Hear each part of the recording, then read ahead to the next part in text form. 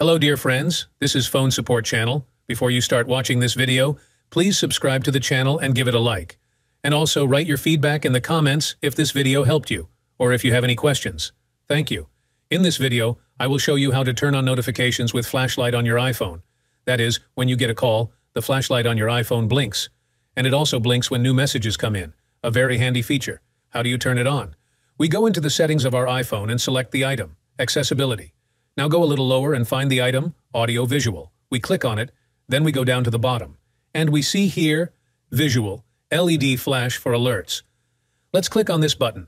And here, we just need to check this item.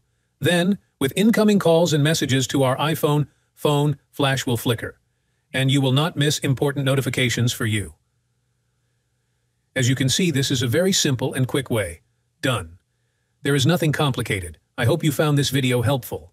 If so, don't forget to leave your feedback below this video. If you liked this video, put likes and subscribe to the channel. And also watch other useful videos on the channel. That was phone support. See you later. Bye. Thanks for watching.